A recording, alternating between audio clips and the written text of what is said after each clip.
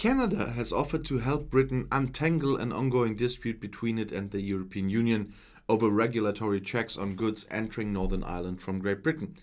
The matter was raised Friday in a bilateral between Prime Minister Justin Trudeau and British Prime Minister Boris Johnson.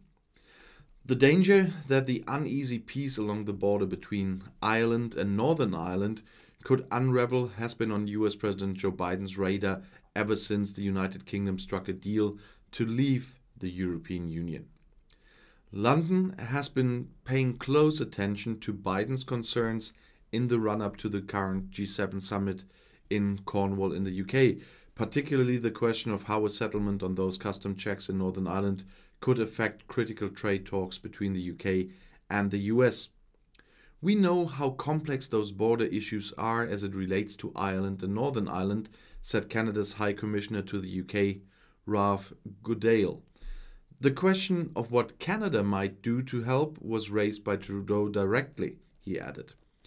A former Canadian Chief of the Defense Staff, retired General John de uh, Chastelain, played a key role two decades ago in successful negotiations on disarming Northern Ireland's paramilitary groups. The Good Friday Agreement is obviously important from Canada's point of view, Goodale said. We don't underestimate the difficulty in finding a satisfactory resolution, but we simply wanted to signal we are aware of it, and since we, at one point in time, had a role in being of, uh, of assistance to find a solution, Canada is prepared to do the same again, if it would be helpful, he said. Still, said Goodale, it's something that would be up to the United Kingdom to resolve. Johnson told Trudeau that he was confident a resolution would be found, Goodale added.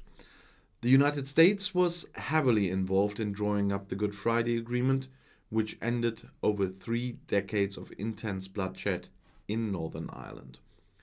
Business and political leaders in Northern Ireland have warned since Brexit that the trade dispute is causing political instability that could spill over into violence during the so called marching season next month, a time of heightened tensions between Irish loyalists and nationalist communities.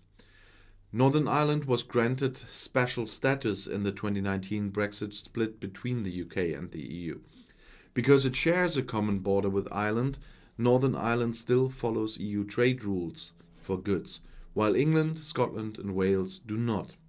To prevent the creation of physical border crossings between the two countries, something that would definitely jeopardize the peace process, it was agreed that custom checks would happen on goods entering Northern Ireland from elsewhere in the UK.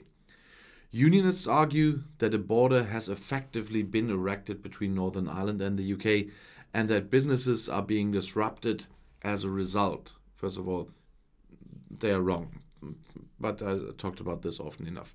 Negotiations to resolve the disputes have been ongoing, but the problem is the EU made a lot of offers of, of solutions.